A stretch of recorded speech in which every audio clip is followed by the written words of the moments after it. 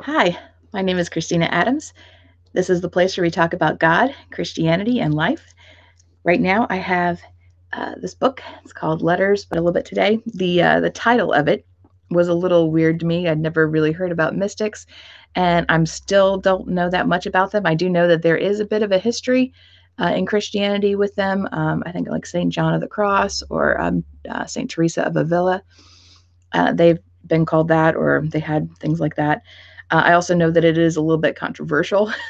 I had a uh, professor once who uh, was talking about the topic of spiritual disciplines, and he uh, threw up his hands and said, "Away with that modern, uh, with that uh, mysticism." And um, so I was like, "Oh, I don't know what that word means," and I still kind of really don't. Um, especially since uh, the history of it seems to be quite long and and such. But uh, this particular book was uh, really cool to me. I really enjoyed it. Uh, at, it's basically it is the diary of Frank Laubach from 1930 to 1931, and it's basically a series of letters that he writes to his dad about this experiment that he wants to do. And he wants to do this experiment with god. And his his reason is is that uh, we have uh, as thinking beings the ability to think about more than one thing at the same time. And so he said well in the bible we're, we're told to you know be you know thankful always and pray continually. And how is it possible to even do those things?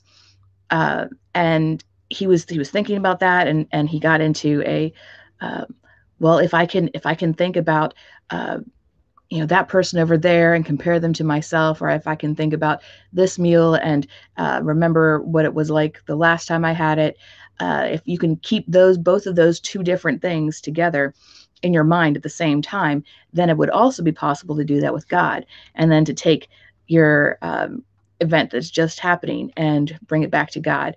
And so that's what he decided to do is he decided to try to basically think about God for um, a certain period of minutes every hour. Uh, he even wrote this uh, game, which is at the back of the book called The Game with Minutes, in which you can practice uh, just trying to think of God, setting a timer, um, or you know just doing things that will remind you to think of God throughout the day so that God is always in our mind. And uh, one of the things he had said is that, well, when you think about something, it doesn't just automatically go away. Sometimes it lingers in your mind or it lingers in the pathways of your brain. And because of that, then it's possible to have thoughts of God and to be praying or to be thinking, um, thinking thoughts to God for a good portion of the day.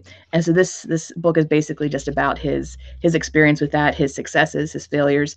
That's actually one of the things I like about it is that it doesn't always seem like it's uh, great and uh, like everything is working. He does talk about um, having whole days where where he didn't do what he thought he was going to do to do or uh, where he was disappointed with his progress and uh, so it's just, just neat to see uh, someone actually trying uh, to think about God.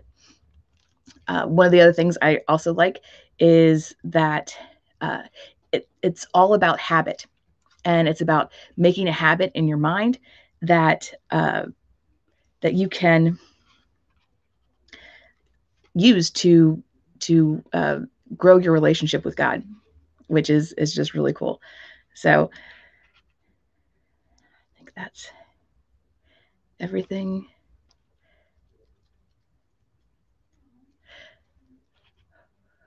sorry. Yeah i think that was everything that i was going to say about it.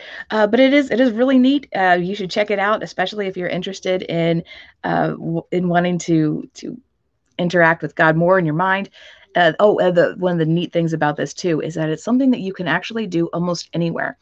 Because no matter what you're doing what you're doing with your mind is something that you can determine. I was wondering if you have ever had an experience where you felt like god was with you and uh, would you like to try to bring your thoughts back to God more frequently during the day? If it's something that you've actually tried, if it's something that you would like to try, uh, let me know. And um, yeah, I hope it works out. All right. God bless. Talk to you later.